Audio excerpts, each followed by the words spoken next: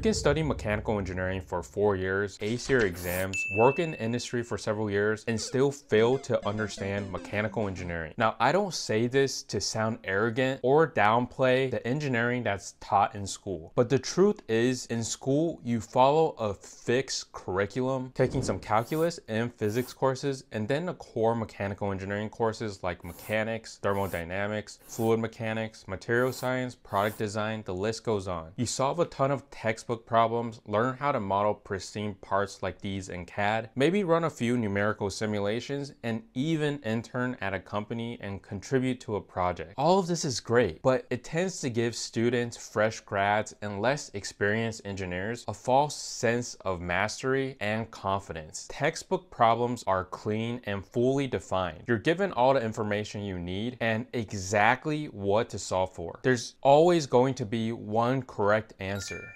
Railroad mechanical engineering problems aren't like that. They're ambiguous, multifaceted, full of constraints and trade-offs, and solved together by a multidisciplinary cross-functional team. Similarly, tools like computer-aided design give us the illusion that our designs are more quote-unquote finished or correct than they actually are. In CAD, parts mate perfectly. Assemblies never warp or bind, but in reality, that illusion can cost you time, money, and resources. Now, a lot of this might seem obvious, but to truly understand mechanical engineering, you need to know how to define complex problems and know what assumptions to make and what not to make, and when to question them in your designs and analyses. So in this video, we'll discuss several key assumptions that can make or break your designs and analyses, entirely change your understanding of mechanical engineering, and help you avoid costly mistakes. Assumption number one relates to linear material behavior. In mechanics of materials, we assume stress and strain are linearly related by Hooke's law up to yield. But most real-world applications push materials beyond this linear elastic range. For instance, when designing a stamped metal bracket, the material might yield and plastically deform during forming. If you're using linear assumptions, then you might underestimate the stress or incorrectly predict part failure. If you design a snap fit feature assuming linearity, then it may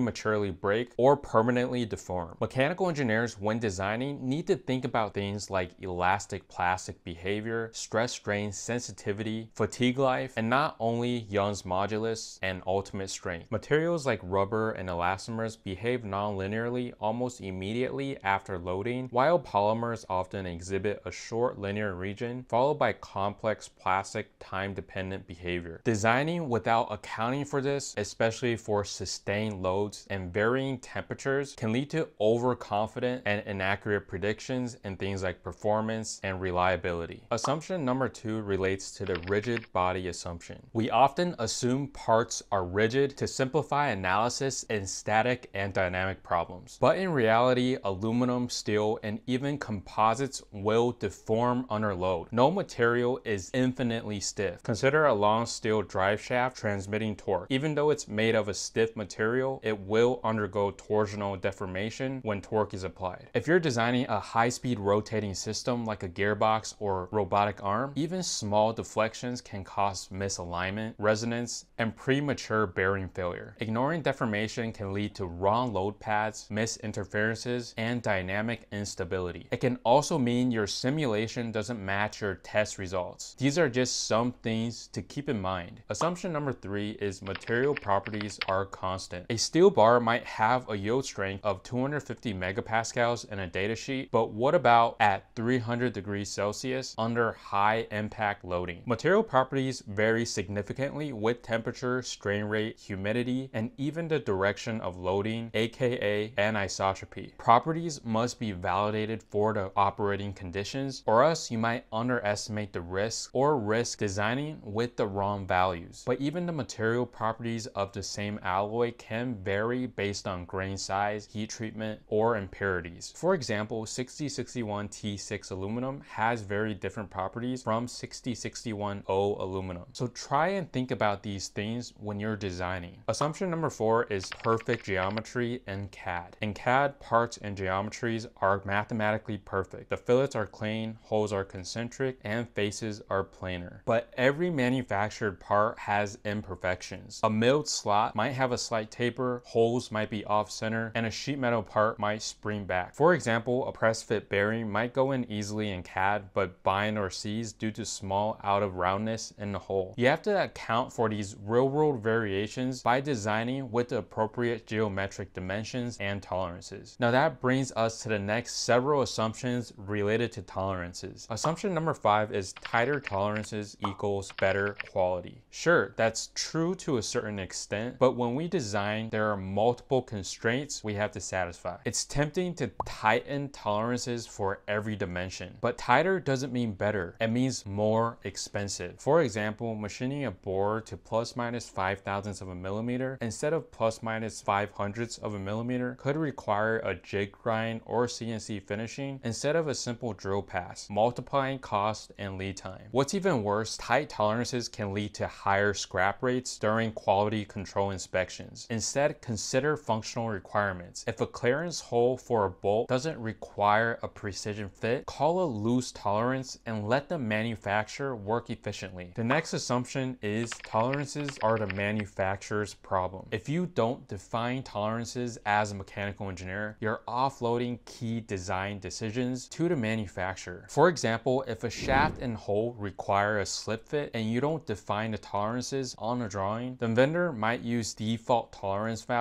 resulting in a tight fit or even interference. That leads to assembly issues and rework. Always take responsibility for critical dimensions and document your intent clearly. You need to communicate critical to function features clearly and indicate where looser tolerances are acceptable. Assumption number seven is all tolerances add linearly. Mechanical engineers often stack tolerances as a simple sum which increases manufacturing costs, but in reality, tolerances combine statistically when parts are mass produced. For example, in a four-piece stack of parts with a plus minus 0.1 millimeter tolerance, worst case linear addition gives a 0.4 millimeter stack up, but statistical methods like root sum square may yield a tighter expected range around 0.2 millimeters. Using the wrong method can make you over design or under predict risk. Worst case might be more suitable if it's low volume production and failure is unacceptable if it's a safety critical part. Root sum square on the other hand is better for high volume products like consumer electronics where you have statistical process control in place. It could be a plastic injection molded enclosure with snap fits where slight variation is okay as long as 99% of the parts fit correctly. Assumption number eight is tolerance specifications will be met without question. You might call out a tolerance of plus minus one hundredths of a millimeter because of functionality, or it just makes the drawing look cleaner. But whatever the reason, if your supplier's process can only achieve plus minus five hundredths of a millimeter, you've now created a quality problem. They may even try to hit your specifications and fail silently without telling you. You need to align tolerances with process capability, which is often confirmed through a capability study or CP or CPK analysis. This is usually the quality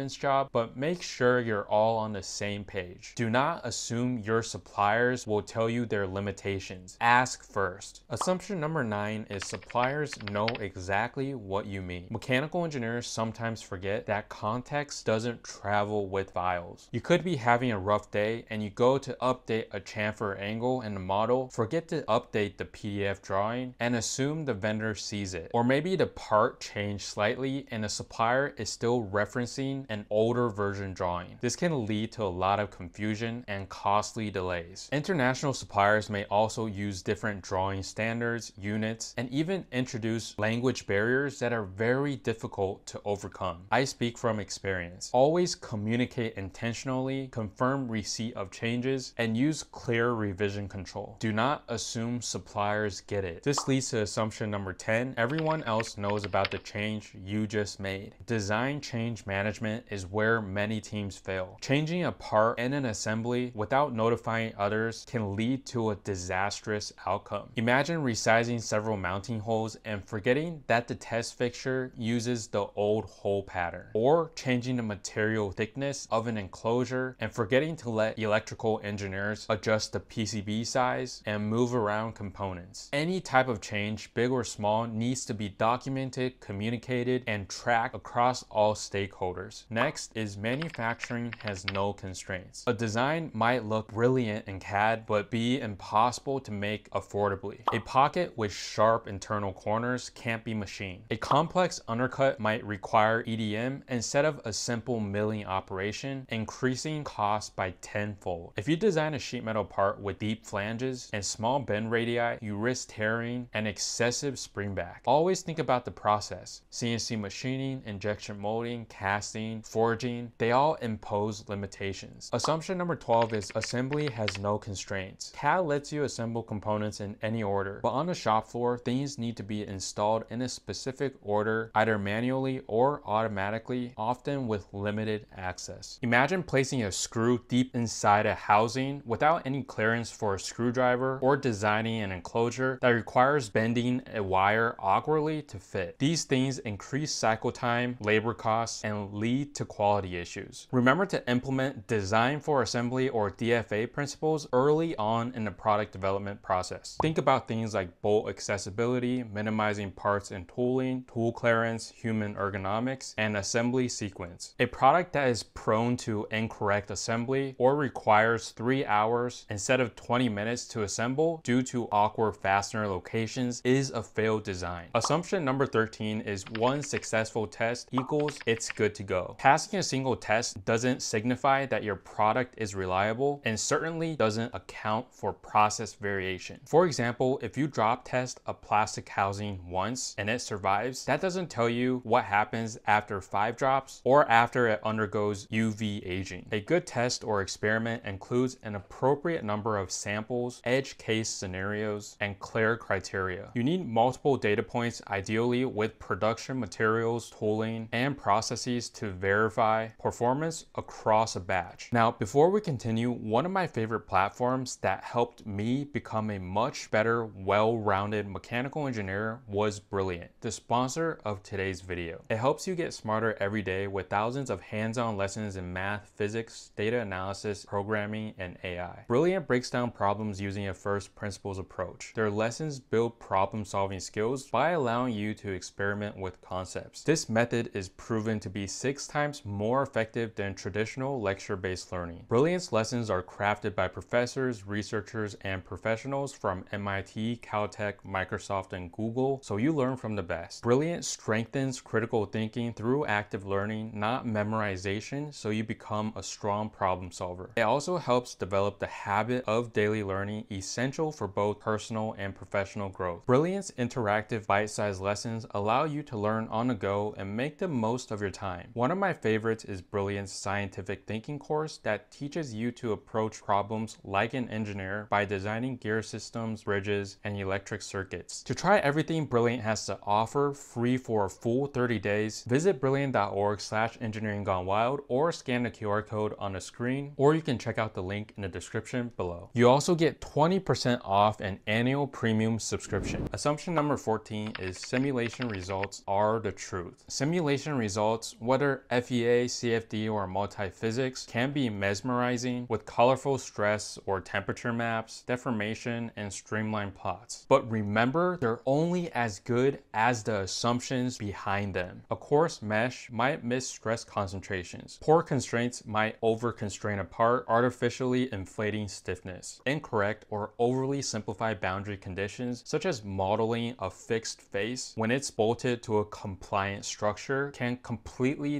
distort your results. Another example is when analyzing a snap fit joint without considering contact nonlinearity will produce meaningless stress results. Always validate simulations with physical intuition, hand calculations, and empirical data. To avoid misleading results, you need to model the entire physical system accurately, including mass, loads, meshing, boundary conditions, damping, stiffness, and materials. Now, the last few assumptions are less technical, but just as important. Assumption number 15 is everyone's working toward the same goal. This might be true on paper, but in reality, different teams often have different priorities. Mechanical engineers tend to focus on overall performance and functionality and making sure that parts work under load, meet specifications, and fit the overall system. Manufacturing engineers care about how quickly and cheaply parts can be made and assembled. Marketing, on the other hand, is thinking about things like return on investment investment, voice of customer, and hitting product launch deadlines. If these priorities aren't aligned early, it leads to friction, missed deadlines, and compromises that show up way too late in the process. Assumption number 16 is my job is just the design. It's easy to think that your responsibility is solely design and ends once CAD models are clean, drawings get released, and parts get made. But the design requires alignment across manufacturing, sourcing, quality, testing, regulatory, marketing, and even legal. You'll be working with all of them to get the design and product ready for launch. That includes installation instructions, user manuals, packaging, test and quality plans, collaborating with manufacturing engineers on tooling design, and getting parts and drawings approved. Good design is about the entire system and the bigger picture. Understanding who comes next and making their job easier is what truly makes you an effective engineer. All right, guys, that's it for today. Hopefully these assumptions are able to better prepare you in your job and whatever you do as a mechanical engineer. As always, thank you so much for watching. If you found this video helpful, be sure to check out my video here where I share how I doubled my mechanical engineering salary in just three years and I'll see you in the next one. Peace.